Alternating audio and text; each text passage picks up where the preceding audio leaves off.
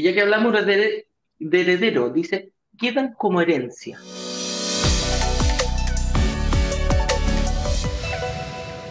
Así como hay seguros de, de gravamen, las propiedades son heredables. Si tú te mueres, o lo, incluso es más, las puedes heredar hasta en vida. Tú puedes traspasar esa herencia en vida, la puedes dejar en tu testamento y puedes prepararlas para poder heredarlas, haciendo alguna especie de, inteligencia, tributaria. Recordemos que las herencias tienen, tienen algunos eh, impuestitos. Entonces, este es un tremendo beneficio que las propiedades tienen.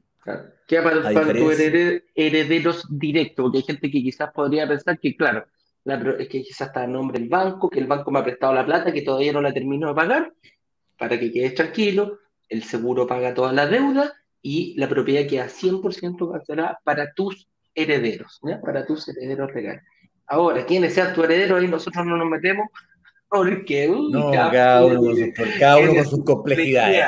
Ya, cada uno tiene su heredero. ¿ah?